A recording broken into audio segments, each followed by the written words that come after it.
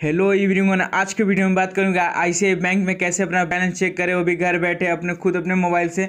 कहीं आपको जाना नहीं है, आपको लाइन लगना नहीं है बैंक में, आप अपना घर बैठे ही अपने मोबाइल से बैलेंस चेक कर सकते हैं। तो चलिए वीडियो को शुरू करते हैं। वीडियो को शुरू करने से पहले आपसे रिक्वेस्ट एक छोटा सा।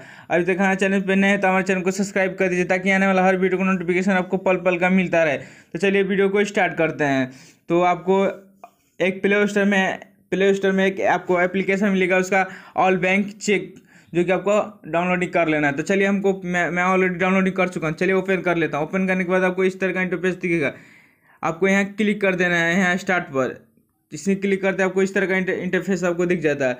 आपको इस पर क्लिक कर देना है। यहाँ पर आपको क्लिक करने के बाद आपको आई बैंक पर आपको यहाँ क्लिक कर देना है। देखिए, यहाँ आई बैंक लिखा है तो मैं इस पर क्लिक कर देता हूँ। क्लिक करने के बाद कुछ आपको इस तरह का इंटरफेस दिखता है।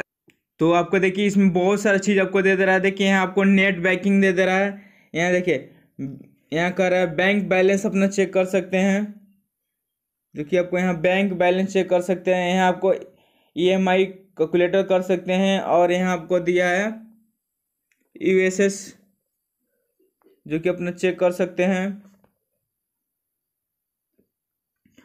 और यहाँ आपको S M S S S M S bank. S S bank में आपको दे दिया है जहाँ बैंकिंग एस एम एस के द्वारा आप चेक कर सकते हैं और दूसरा बात नेट बैंकिंग यहाँ आपको दे दिया है।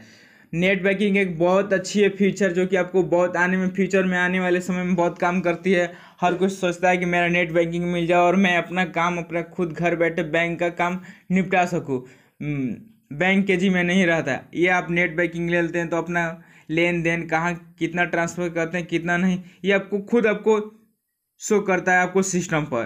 तो आपको ये मतलब बैंक से कोई लेना देना नहीं रहता आप खुद से इसे कर सकते हैं हैंडल और अपना काम कर सकते हैं। इसीलिए नेट बैंकिंग आज के दौर में बहुत अच्छी है और ये नेट बैंकिंग हर किसी को ज़रूरत आती है। तो आपको चलिए बैंक बैलेंस चेक पर क्लिक कर देंगे। चेक करने के बाद आपको एक, देखिए आपको दे रहा है bank balance mini statement customer care तो आपको यहाँ को कॉल करना है।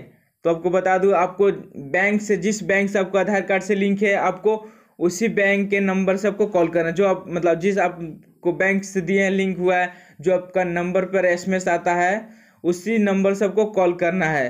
तो आपको बैलेंस यहाँ उपलब्ध आपको बता दिया जाएगा कॉल के थ्रू या आपको मिनी स्टेटमेंट तो आप इस पर यहाँ कॉल कर दीजिएगा तो थोड़ा सा कॉल करके कट जाएगा। तो आपको दिख जाएगा। तो चलिए मैं इस पर कॉल करके ही आपको दिखा देता हूँ। देखिए इस पर।